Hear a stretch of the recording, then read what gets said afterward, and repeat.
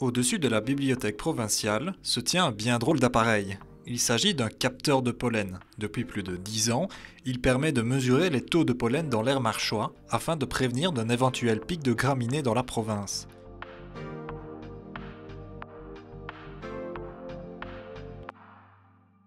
Toutes les semaines, un ouvrier récolte le tambour usagé et le remplace par un neuf.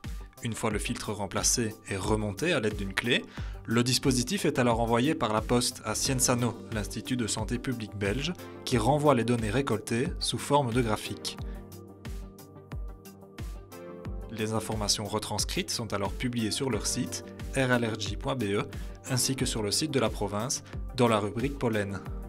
La province se charge également d'envoyer les données aux chaînes d'information et de presse locales pour prévenir les personnes sensibles à ce type d'allergène.